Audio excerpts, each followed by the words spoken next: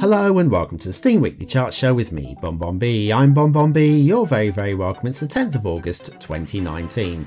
This week's chart at number 20 is the Roy Thomson Hall by JSF1. One of the great little top hat asset. I think I really like this actually. At number 19 is Sidewalk Antiques with Seating, high-end computers by Mr. Miyagi. Yes, Mr. Miyagi's borrowed a few of Jez's beautiful little uh, props and turned them into a great little asset there.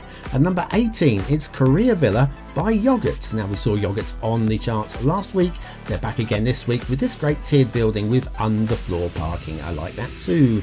At number 17, it's Jiao Gao Sung Si Ao Chao Chi Che Residential Quarter C Sing by oh Siberian Cat. I'll give up with that. number 16, my Chinese is rubbish.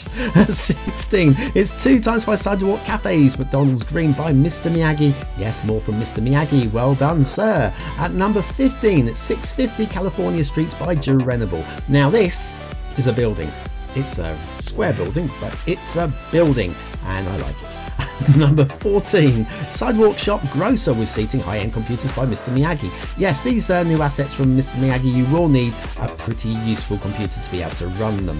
At number 13, it's a Rico Act 1, Act 2 Dubai by I HXAI, and that creator has just become the 200th creator on the Steam Weekly chart. Well done to you. At number 12, it's Test Gothic Farmhouse by False Lucidity. Yes, this is a beta test, possibly an alpha test, but it's definitely a test version of a building. Worth checking. At number 11, Sidewalk Cafe Pergola 2x1 by Mr. Miyagi. Another uh, shopfront style building uh, park. Park. It's a park I know. And number 10, WYJP Mansions WLAB by Waya.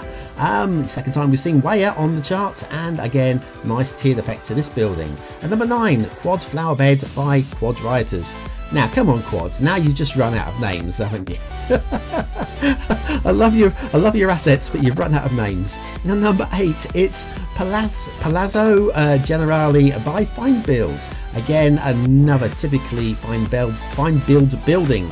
Great work. At number seven, Thai residential houses mixed by armsplams. If you need some more of these type buildings, well, armsplams has got you covered. And there's a real mix of them. And number six, Sidewalk Cafe, fine dining, high-end computers by Mr. Miyagi. And this is, uh, well, the fourth item from Miyagi, so therefore, he's our creator of the week. Well done to you. And number five, CITIC Tower, um, Beijing, uh, Zhongxin Di Da Sha by XDBX. Sorry, I've killed that. number four, it's XCAEC Hotel by XDBX. I've given up with the Chinese this week. You can mock me all you like. I tried. to get points for that. And number three, oh look, it's animated. It's the Watermill. Oh no, no, no, no, no, no. Not even Chinese. By Sven Berlin. Thank you, Sven. Anybody German will have a go at that one for me. And number two, Sotunder Sunken Station by Bad Peanuts. And yes, it's a glorious little station. And it's sunken. And I like it because I like it. At number one, though, we have Modern Lighting Pack Liberated by Elektrix. I believe it's liberated because it used to be part of Network Skins, and now you can use it freely any way that you like. Thank you very much, Elektrix. You are full of tricks.